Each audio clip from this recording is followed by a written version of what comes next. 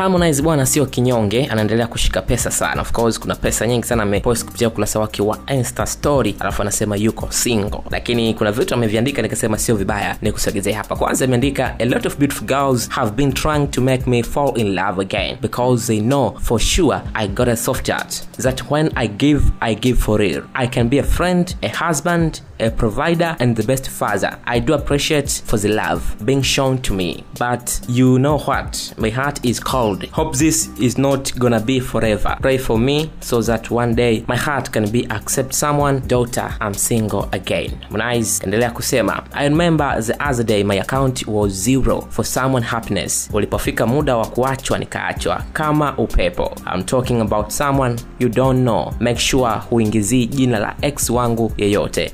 Sio kila mahusiano yangu unayajua. Stay single, stay rich. Aha, mambo ni moto kwelikweli kweli. Harmonize bwana kwa anazungumzia hivyo kwamba kikweli anaamini wasichana wengi wamekuwa wakimpenda warembo tofauti tofauti na wamekuwa wakitamani kuingia naye kwenye mapenzi tena. Lakini kiukweli anajijua. Yote ni kwa sababu ana moyo mweupe yaani moyo ambao ni mlaini. Anasema nikiamua kutoa natoa kweli. Mona naweza nikawa rafiki nikawa mume nikawa mtoaji lakini pia nikawa baba mzuri. Anasema anafurahia na kuthamini eh, upendo wote ambao unaonyeshwa kwake. Lakini kwa sasa moyo wake uko baridi kweli kweli. Umeona eh? na anasema pengine hii haiwezi kuwa milele. Lakini anaomba siku basi mungu aweze kufungua moyo wake vizuri lakini pia aweze kumpa mtu mzuri eh, anasema nipate binti wa mtu fulani mzuri. Lakini nakuja naongeza akisema anakumbuka kuna siku akaunti yake ilikwisha kabisa ikabaki sifuri ikiwa na maana akaunti ya benki kwa ajili tu ya kuweka furaha ya mtu fulani. Lakini ulipofika muda wa kuacha akaachwa kama upepo vile. Anasema hapa anamzungumzia mtu ambaye hamjui eh,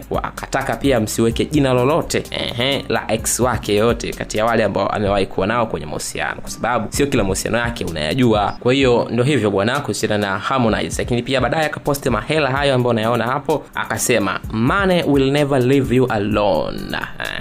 Mona eh? until you let them go. Away more better than sitting with someone people in your car.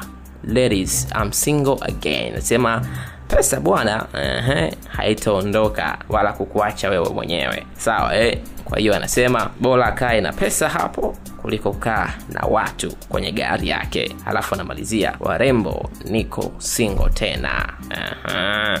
Afu anamalizia kabisa hivyo kwa kusema yuko singo mnahisi bwana wacha tuone pengine kuna siku ehe ata fall in love. Maybe wacha tusubiri lakini sasa hivi ametuweka wazi kuwa yuko single.